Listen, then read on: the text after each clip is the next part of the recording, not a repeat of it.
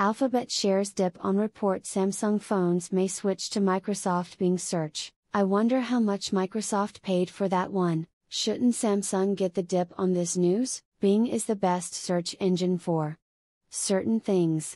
I use it for around 7 9 minutes on most days. If they still run on Android, how does this even happen?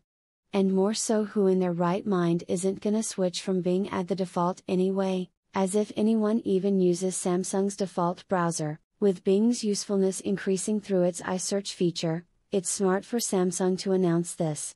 It pretty much forces Alphabet to offer a more favorable contract, or Microsoft gets thrown a pretty big bone, not like we don't change to DuckDuckGo anyway.